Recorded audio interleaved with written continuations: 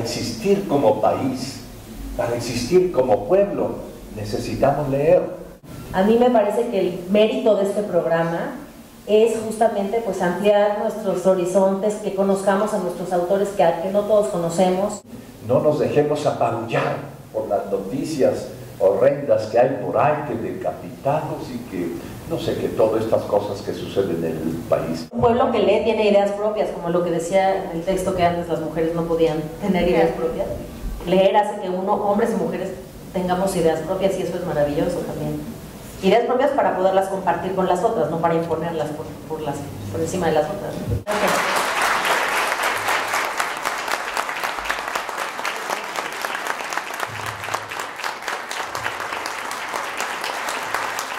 De novia, confeccionado por la prestigiosa modista cubana María Luisa Duval.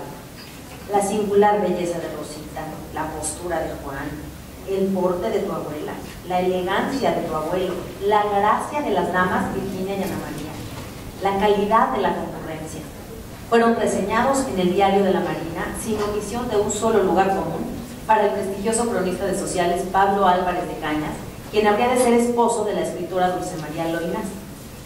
Tras el banquete que se sirvió en casa de tus abuelos, los novios se cambiaron de ropa, se despidieron de sus padres y de los invitados bajo una lluvia de arroz, se montaron en una máquina descapotable con chofer y se fueron a pasar su luna de miel al Hotel Inglaterra de La Habana.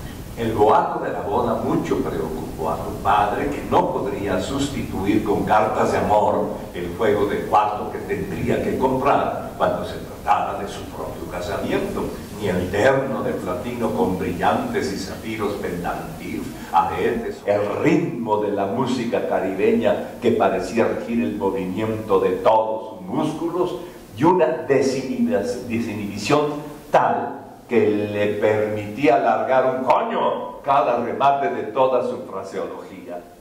Estas cualidades se fueron esparciendo saludablemente por las costumbres de la casa, como si con la llegada del primo se hubieran abierto las ventanas y liberado de su contención ancestral las palabras y las risas.